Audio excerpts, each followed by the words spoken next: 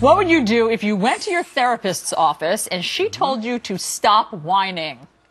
Love it. Some therapists are using tough love techniques during their sessions to bring patients back down to reality and get to the root of the problem. But does it work? Joining us is psychotherapist Julie Hanks. Good morning to you, Julie.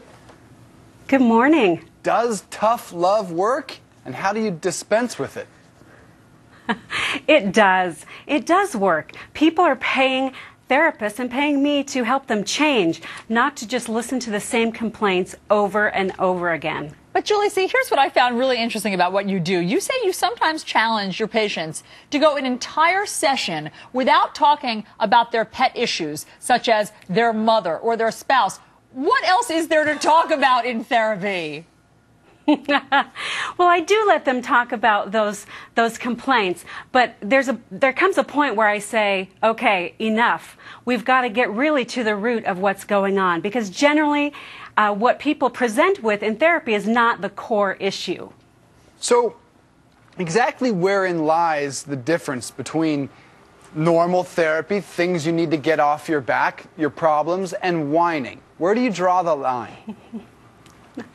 Well, the difference between whining and good therapy is good therapy helps you really get to the core emotion and and what's really going on underneath the surface. And there's this stereotype that that therapy is just letting people go on and on complaining. That's not what it's about.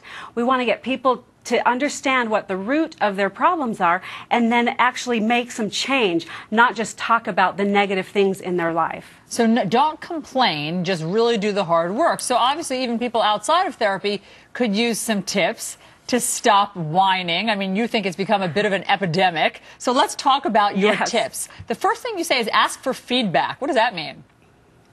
Yeah, so if you wonder, do I whine? Ask your close friends and family. They will tell you. They'll be relieved that you're asking. They'll tell you, yes, you do whine. You're too negative. Knock it off. Uh oh. All right. Uh, set whine time. So there is a time that you allow it or you encourage it? Yes. So in a session, I may say, okay, you have five minutes. Let's talk about that topic, you know, your boss or your ex wife or whoever it is. And then we're going to move on from that because that's really not the issue. And you can do that in your real life too. You can say, okay, I'm going to give myself 10 minutes to whine and then I'm done with it. Oh, see, and then the next thing you say is keep certain topics off limit. And then the last one you say is ask yourself, what do I really want? In terms of the off limit, it's, I guess if you're stuck in a mm-hmm. rut and you're always complaining about your spouse, just stop, just take that off the table. Yes, say you're going to lunch with a friend. Say, okay, I am not going to talk about my spouse and how annoyed I am with X, Y, and Z. Just say, promise yourself and see if you can do it. Challenge yourself to not whine about that pet topic.